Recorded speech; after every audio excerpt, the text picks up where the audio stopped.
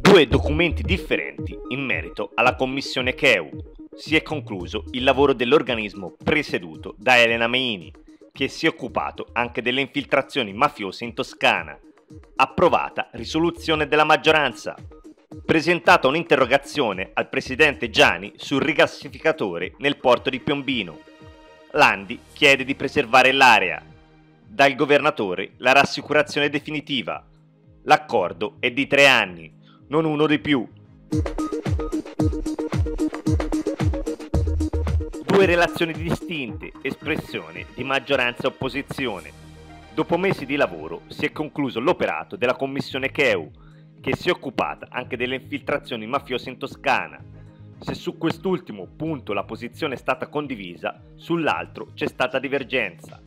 La commissione era nata in seguito all'inchiesta della Procura di Firenze sullo sversamento dei rifiuti tossici nel terreno dell'area attraversata dalla 429. A ripercorrere quanto fatto è stata la presidente Elena Meini, che ha evidenziato come si tratti di un punto di partenza e non di arrivo.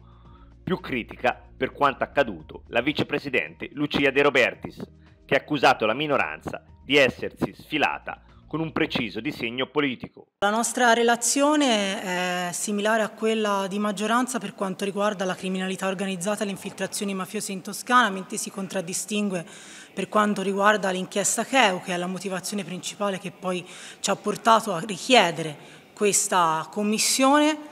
Ancora diverse domande senza risposta, però ho voluto guardare avanti e quindi ho voluto proporre una serie di attività, una serie di interventi dal punto di vista amministrativo per cercare di evitare che tutto ciò si possa ripetere. All'interno dei nostri ordini del giorno chiediamo il potenziamento di ARPAT, chiediamo il, una commissione, che è già la commissione esistente di garanzia e controllo, che possa occuparsi anche del tema della legalità, chiediamo il potenziamento del fondo antiusura, chiediamo poi che quando si presentano emendamenti in Consiglio regionale, soprattutto su tematiche delicate come quella dei rifiuti, ci siano i tecnici della Regione a garantire la procedura della presentazione dell'emendamento e ciò che sta scritto al suo interno. buscar.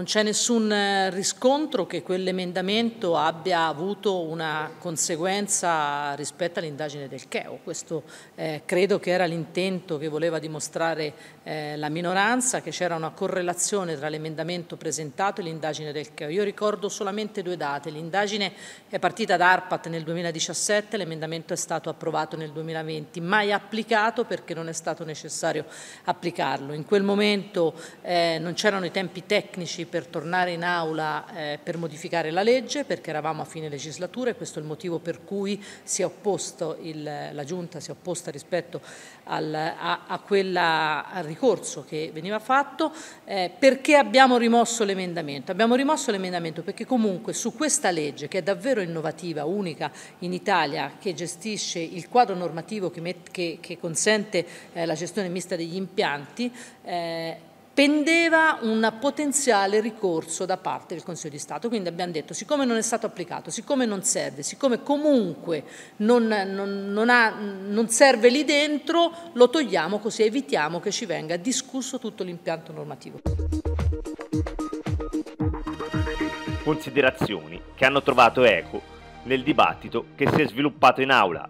Alessandro Capecchi, di Fratelli d'Italia, ha sottolineato il potere limitato della Commissione mentre Irene Galletti del Movimento 5 Stelle ha sintetizzato la Commissione ha mancato i suoi obiettivi. Differente l'opinione di Stefano Scaramelli di Italia Viva, che ha parlato di un lavoro buono.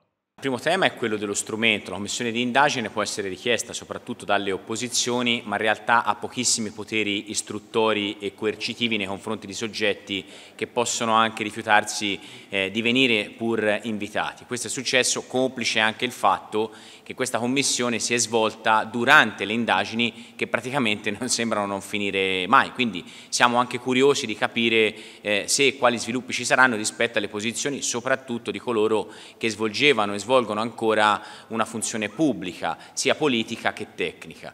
Il secondo elemento poi sta invece nell'atteggiamento che la Giunta e una parte degli uffici hanno avuto durante lo svolgimento delle audizioni e dei lavori della Commissione. Tante volte abbiamo letto sui giornali il giorno stesso della convocazione anticipazioni o spunti che eh, la Giunta, per esempio, anziché venire a condividere con la Commissione, in realtà rendeva pubbliche. Terzo, c'è stata una divaricazione pericolosissima, eh, di cui ancora non si conoscono gli effetti, fra ARPAT e struttura tecnica della Regione.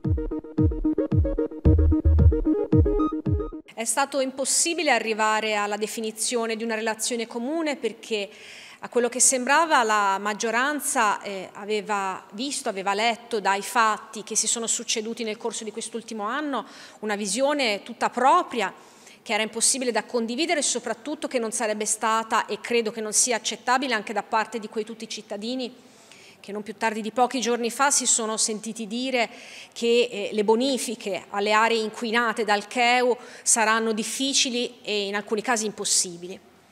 La eh, relazione che abbiamo presentato come opposizioni si è tenuta il più lontano possibile eh, nel rispetto di tutte le persone coinvolte dalla questione giudiziaria ma non ha potuto fare a meno di un giudizio politico molto severo che è stato poi il medesimo che Rosi Bindi, certamente non una persona qualunque nel panorama politico, ha espresso nei confronti della politica, che troppo spesso si autoassolve ed è velocissima nel cercare delle giustificazioni e delle coperture anche alle sue azioni che vengono pubblicamente considerate veramente nemiche di quello che è l'onore e la disciplina che ci dovrebbero caratterizzare.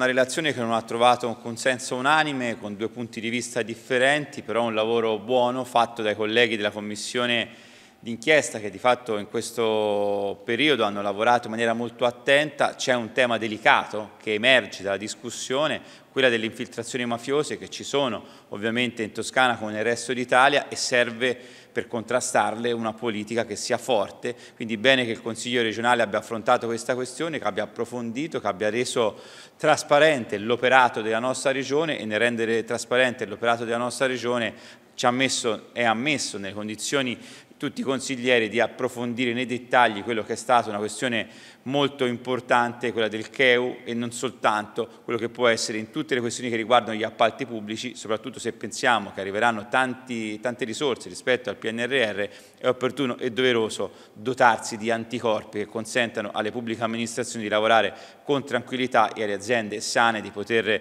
lavorare nel massimo della trasparenza nella nostra Regione. Al termine del dibattito è arrivato il voto del Consiglio sugli atti collegati alle relazioni. La maggioranza ha fatto approvare una risoluzione che recita il Consiglio regionale condivide integralmente la relazione di maggioranza sui lavori della commissione di inchiesta su infiltrazioni mafiose e criminalità organizzata in Toscana e impegna gli organi della regione per gli ambiti di rispettiva competenza a recepire le proposte operative offerte dalla relazione di maggioranza, anche mediante iniziative condivise. Conseguentemente sono stati approvati anche tre ordini del giorno, due di Meini sulle bonifiche e sul potenziamento di ARPAT e uno di Galletti sul potenziamento delle strutture di supporto delle commissioni, respinto invece quello di Capecchi sulle modifiche al ruolo della commissione di controllo. La Golar Tundra resterà nel porto di Piombino per tre anni. SNAM poi dovrà trovare un altro luogo per posizionare il rigassificatore, una delle fonti di approvvigionamento energetico individuato dal governo per fare fronte alla crisi del gas. L'argomento ha toccato anche il Consiglio regionale, il presidente regionale Eugenio Giani, che è commissario per la gestione dell'operazione, ha risposto a un'interrogazione del portavoce dell'opposizione, Marco Landi. Il governatore ha escluso la durata dell'accordo per 25 anni. Ho detto no alla richiesta di concessione richiesta da SNAM per 25 anni. È inaccettabile. L'operazione è possibile solo se sarà una cosa temporanea e se ci saranno le condizioni per usare il porto di Piombino, Gianni ha quindi ricordato che sono 29 i miliardi di metri cubi di gas da far passare nei gasdotti russi e sostituirli con i rigassificatori di Ravenna e di Piombino. Significa 5.000 ciascuno, a coprire un terzo del fabbisogno. Questa vicenda di Piombino in questi aspetti sta raggiungendo il grottesco. Ehm, in questo caso Landi, persona mm, che assolutamente io stimo, eh, ma che è il portavoce dell'opposizione, esponente della Lega, chiede a me eh, qual è il cronoprogramma. In questi giorni sui giornali, su più giornali, è apparso che la sottosegretaria della Lega Gava ha pubblicato quello che è il suo cronoprogramma che prevede che a marzo la nave eh, di rigassificazione sarà già nel porto di Piombino.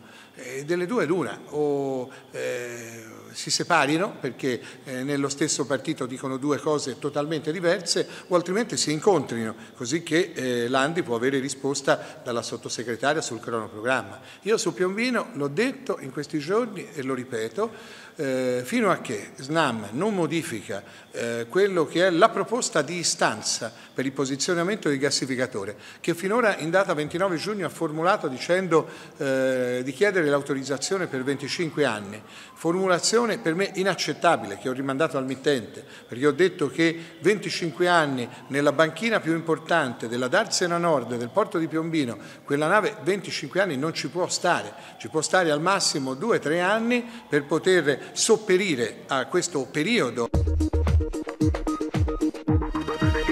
Landi, nel presentare il quesito al presidente regionale, aveva illustrato il possibile impatto su Piombino, evidenziando che più che guardare in alto occorre guardare al territorio, alle sue problematiche e ai cittadini. Piombino non è Taranto, ha già dato in questi ultimi 150 anni alla causa dello Stato in termini di lavoro, di morti sul lavoro, di territorio e della natura di quella zona che è stata offerta per esigenze nazionali ad ospitare una centrale Enel, una discarica, l'industria. Affermazioni sottoscritte anche dal capogruppo di Fratelli d'Italia, Francesco Torzelli. Il Presidente Gianni, nella sua veste di commissario per eh, l'opera del rigassificatore nel porto di Piombino, continua a nostro avviso a sbagliare. Lo fa perché adesso sta facendo il gioco delle tre carte con la durata del tempo di questa concessione che SNAM dovrebbe avere per posizionare il rigassificatore eh, ed avere la concessione sia sul porto che come offshore fuori dal porto di Piombino. Si è sempre parlato di due o tre anni nel porto e il resto fuori come offshore. Sicuramente non è accettabile che questa soluzione avvenga né nel porto di Piombino né nel Golfo di Follonica come offshore, quindi parlare di questi anni, eh, due, tre, le, la, la, concessione a 25 è qualcosa che noi sappiamo già da diversi mesi. Eh, dobbiamo affrontare la questione in maniera diversa. Gianni ascolti il territorio di Piombino, ascolti il suo partito a Piombino, ascolti il suo partito rispetto a quello che gli viene detto dal consigliere regionale del suo partito di quel territorio.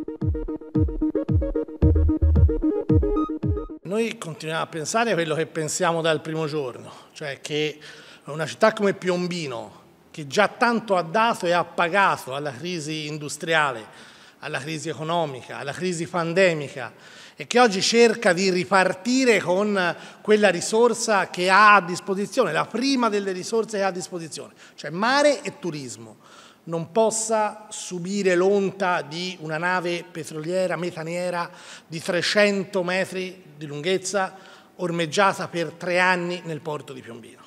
Noi siamo assolutamente in linea con la battaglia che il sindaco di Piombino Ferrari sta facendo per evitare questo scempio.